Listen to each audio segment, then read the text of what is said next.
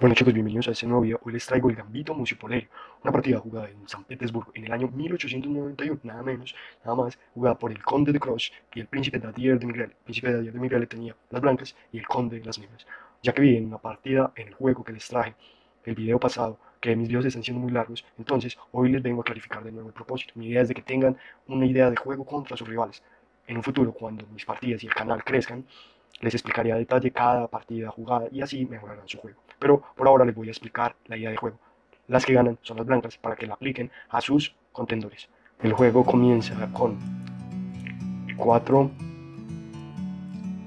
5, F4, E por F4, caballo F3, E5, el alfil C4, G4 amenazando el caballo, pero a las blancas no así que jugaron en roque, G por F3, dama F3, dama por F3, una, una jugada insólita, pero se van a sorprender por qué eh, las blancas dieron ese caballo, ya que estos alfil, este alfil tiene una trayectoria y enseguida la dama tiene más trayectoria y enseguida la torre apoya. Entonces eso se convierte en un desenlace mortorio para las negras.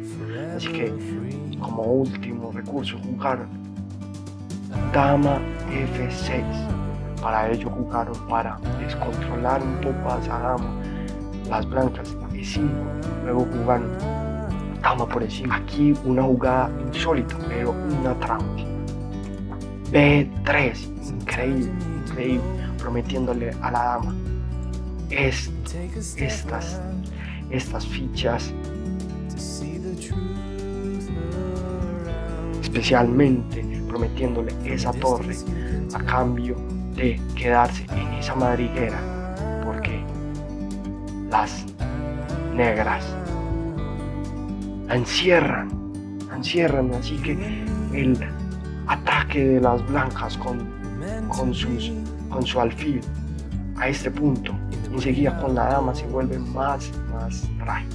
Así que esto no se jugó, pero es una gran trampa.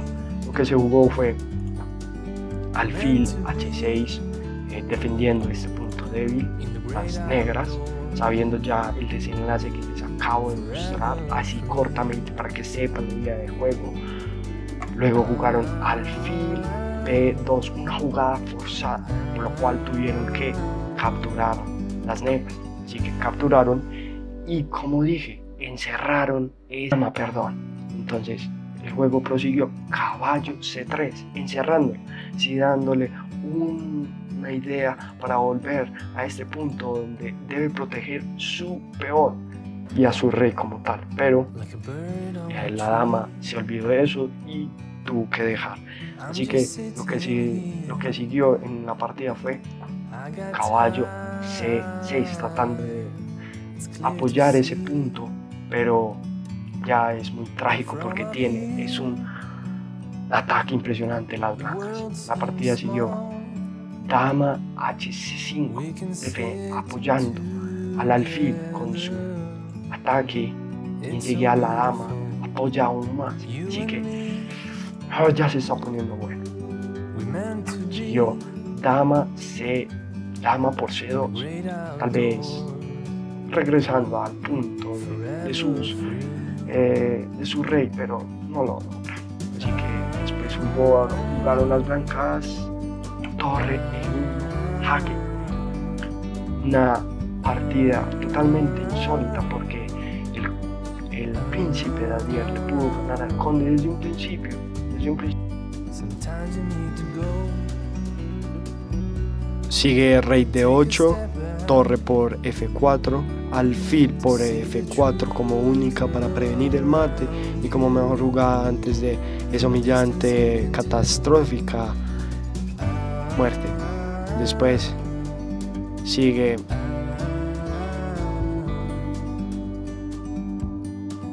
torre E8 sacrificando la torre. Rey por E8. Dama por F7 jaque. Y lamentablemente, dama F8 jaque mate. Bueno, espero que les haya servido. A partir de ahora los videos serán más cortos, muchachos.